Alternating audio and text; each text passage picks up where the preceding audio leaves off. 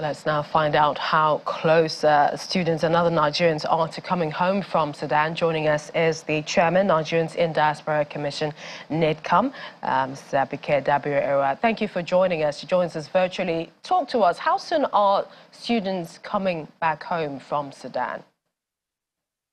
Thank you, Millicent. Actually, um, uh, a discuss, what we're doing right now in Sudan to really attend to you. Right now, there's been a, tremendous progress. There's now a point of contact for every student. Now they're converging at a location that has been given to them by the mission, and buses will take them to a location. We're looking at um, places uh, in Egypt, Luxor and uh, Luxor and some other place there. So really, there's been tremendous progress. Buses have been arranged uh, Mr. President has uh, given his nod. Immediately this happened. So there's not now the issue of those students that you mentioned that you know gathered together, took a bus somewhere. Now here's the thing: they've all had to go back to their universities because it was very risky of them.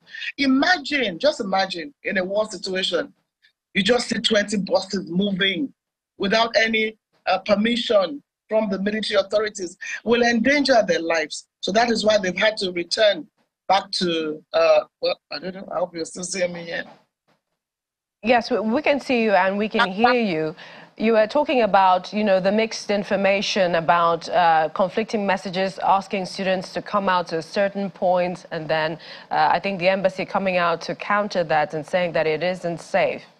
Hello, ma'am. Yes, Millicent. Sorry, I lost you. I don't know where I lost you.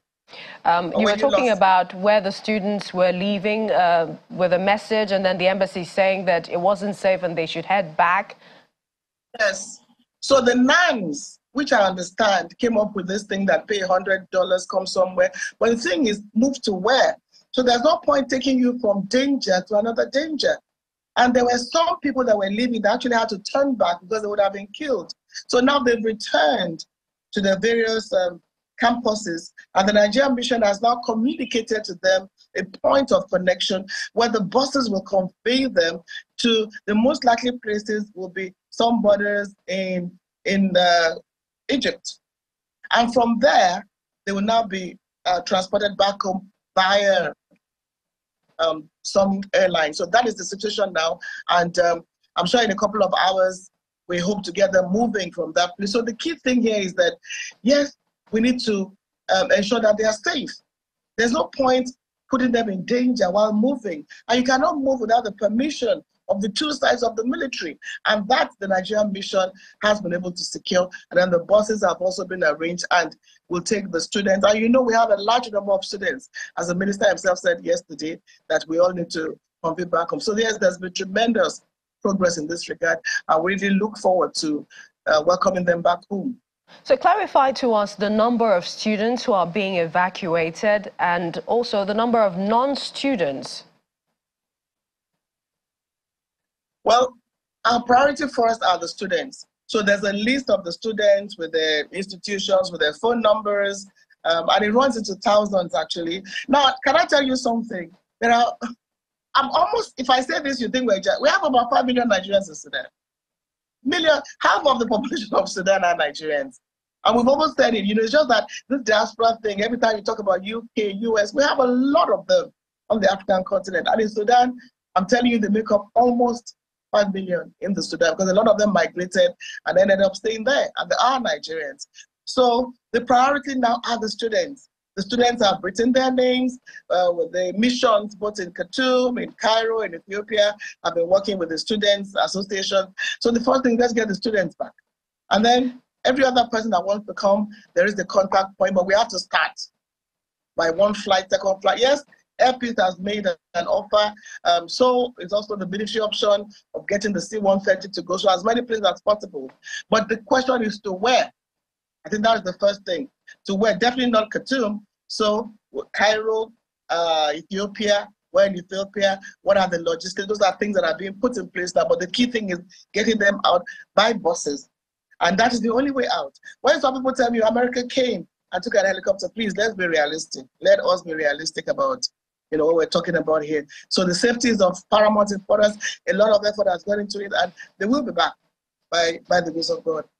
Indeed, but just, you know, before we lost you, we, we sort of read a long list of the number of people, other citizens of other countries who have evacuated, um, you know, their citizens from Sudan. And many have talked about the slow uh, pace of the Nigerian government to taking the students out of Sudan.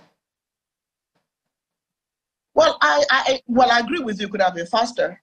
It could have been faster, but the key thing is let's also ensure that it's safer. Let's also ensure that uh, no life is jeopardized. I agree with you absolutely. It could have been faster. Definitely could have been faster.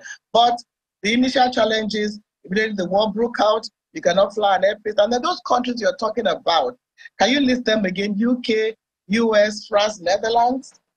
They are part of the, the war in Sudan anyway. US and all those people, they are part of what is going on in Sudan. You see what I'm saying? So yes, but the key thing is, are you talking about peace or talking about safety? Then how many people are we talking about? America can, in fact, the British nationals are complaining that they've been left behind. We cannot just take our diplomats and leave our citizens behind. And can I tell you something? When some Qataris and French people were leaving yesterday, they turned back to Khartoum. So you see, you only hear one side of the story, not the other side of the story. We're dealing with thousands. We have the largest numbers of students that needs to be evacuated. Do you want us to take one, two, three, four, five? I just said one little plane. We can't do that. But the thing is, no matter when they leave, let them be safe, let them get out of there, let them reunite with their families, and then we take it from there. So I think you're making unfair comparisons. But yes, you could say it was a, well, it could have been faster. Well, maybe yes, maybe not. But I know that the missions in Sudan, in Cairo, in uh, Ethiopia have been working 24/7 to get this thing out of the way. And when you say whatever, nobody knew the war was going to break out. Even the people there were not expecting the war would break out. We keep hoping against hope. That's not going to happen. But here is what it is, Millicent. Let us ensure that we get them out. Maybe yes, maybe not. But right now, they are all living and we they will live safely. We've evacuated several times before. There are challenges to evacuation, mostly because we're dealing with large, large, large numbers. You know, the largest anyway, the largest anyway. So we'll do everything the missions are all on track. Despite the challenges they have, they have the challenges of funding and everything. But I believe the president has given uh, uh, instructions on that. So NEMA is responsible for evacuation and they've pulled all the stops. Like I said, the military is also on standby. Well, maybe Air Peace is on standby, the military is on standby, NEMA is on standby, but the key is getting them down safely, taking them to a location and transporting them back home. We know you have a lot of work ahead of you. We're looking forward to the good news. Thank you for joining us on the program today. Thank you, Millicent. Thank you.